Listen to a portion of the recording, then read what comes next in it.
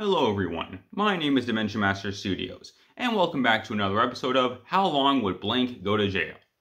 I am planning on turning this into a series of videos where every Friday I will be releasing a brand new video going over the crimes committed by various Ninjago villains and seeing how long their sentences would end up being. I've already made one of these videos when it comes to Harumi, and so in the following weeks I will be doing the remaining members of the Council of the Crystal King before the events of Crystallize have begun. And when it comes to today's video, I will be going over Pythor and seeing how many crimes he's committed and how long he would go to prison.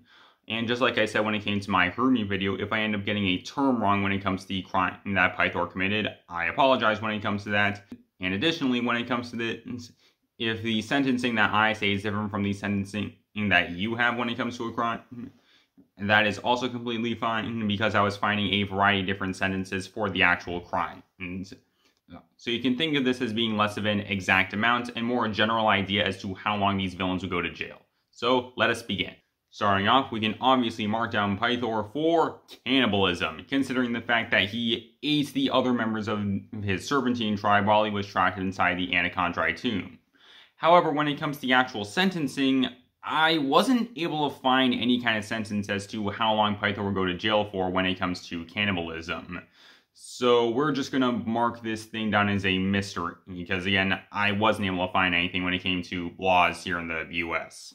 Up next, we have Pythor down on four cases of theft, the first one being the other Serpentine tribes, two cases when it comes to the Fang Blades, one with the Blade Cup, the other one for all four Fang Blades when Pythor took them from the ninja, and the last one was the Serpentine staff that he took from Ninjago's museum and the sentencing for theft is 15 years, so Pythor would end up getting a 60 year sentence. Up next, we have two cases of kidnapping, both of them actually involving Lloyd, once during season 1 and once during season 3. And when it comes to the actual sentence, Pythor would end up going to jail for 40 years because it is a 20 year sentence when it comes to kidnapping. And since he did it twice, again, 40 years.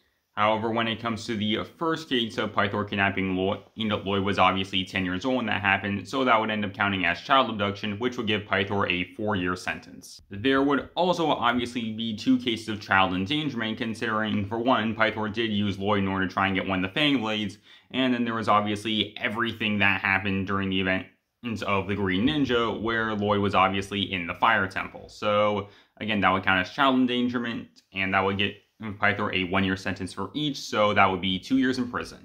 We also have false imprisonment twice, once again, when it comes to Lloyd, and once when it comes to Ninja. And with this, that was obviously after the Ninja got into the Constrictai tomb and they were trying to get the Fang Blades back. So this would end up counting as, again, false imprisonment, giving Pythor a one year sentence for each of these. And since he did it three times, that would be three years in jail. Up next, we have Grand Theft Auto, considering him the Serpentine taking that bus in order to try and get to the Lost City of Ouroboros, and this would end up giving Pythor a one-year sentence. I can also mark Pythor down on three cases of attempted murder, considering he tried to kill the ninja and Sensei Wu by trying to have them go into that volcano. There was then the issue once again when it comes to Ninja when they were inside of the Digiverse, and finally there was obviously the time that Pythor tried to kill Lloyd Misako on Day of the Departed and this would end up giving Pythor a 48 year sentence for each of those, bringing the total to 144 years behind bars. There's then Pythor releasing the Great Devourer, and I'm pretty sure that when it comes to this whole situation, this would end up counting as some form of terrorism, considering when it comes to Pythor, he definitely wanted the Great Devourer to be unleashed, that way he could try and rule over Ninjago, so again, I'm just going to count this as terrorism, and that would give Pythor the death penalty. We then had some assault and battery charges when it comes to Pythor, specifically when it comes to him going up against Sensei Wu during the penultimate episode of Season 1. There was then him fighting against Pixal and Cyrus Borg while the ninja were trapped in the Digiverse, and finally there was Pythor fighting against Lloyd and Misako. And when it comes to this, for the assault and battery charge, each then would end up counting as one-year sentences for that, and since there was three for each, that would end up making a six-year sentence in total.